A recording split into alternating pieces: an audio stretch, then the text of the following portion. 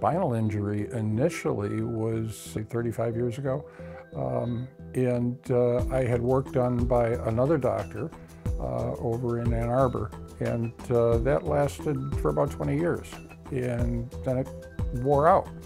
And I began to experience a lot of trouble with my lower back.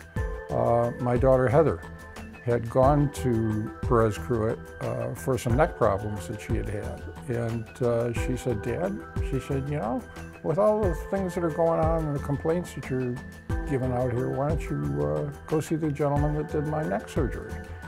Went and met Perez Cruet and uh, um, liked him.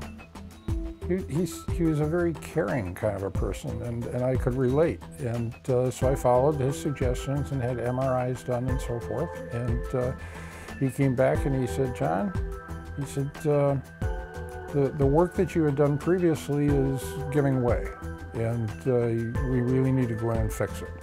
And uh, the thing that impressed me the most was the time that he took um, after the MRIs were done in explaining every single thing that, that he was seeing and the fact that uh, there were a lot of corrections that had to be made and how he was going to do it.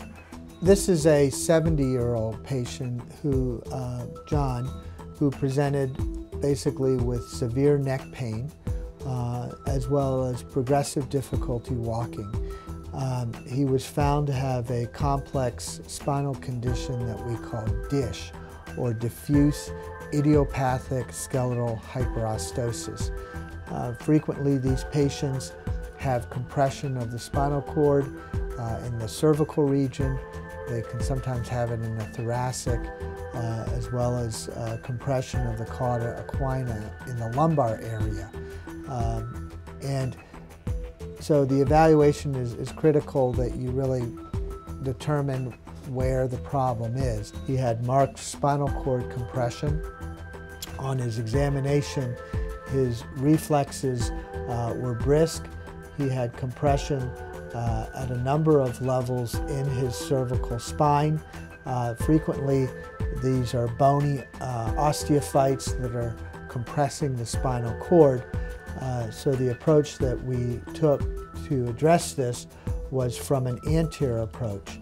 Uh, you can see here, after surgery, we did a discectomy at one, two, three, four, and four, five levels.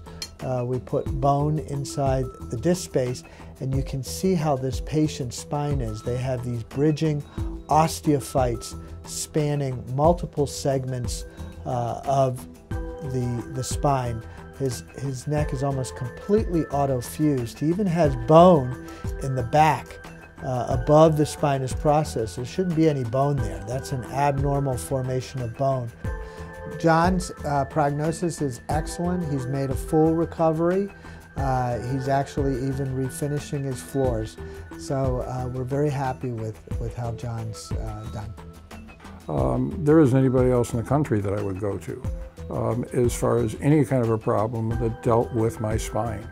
Um, with the work that Dr. Perez Cruet has done in several occasions on me, um, and watching the changes in technology and watching his development of new procedures.